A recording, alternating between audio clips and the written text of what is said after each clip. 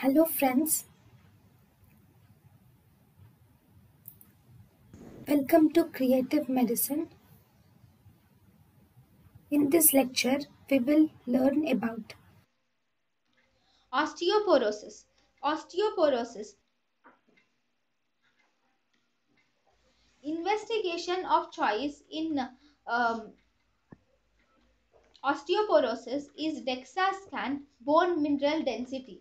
Indications of DEXA scan in postmenopausal females are if the female is more than or equal to 65 years of age, postmenopausal female who has risk factor or postmenopausal females with fractures.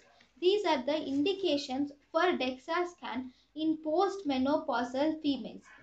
T score in the DEXA scan or bone mineral density scan, we will find out the T score and the Z score. T score compares the bone mineral density of females with that of younger females so if t-score is less than minus 2.5 standard deviation, then female has osteoporosis. Whereas z-score compares the bone mineral density of a female with that of other female of same age and race.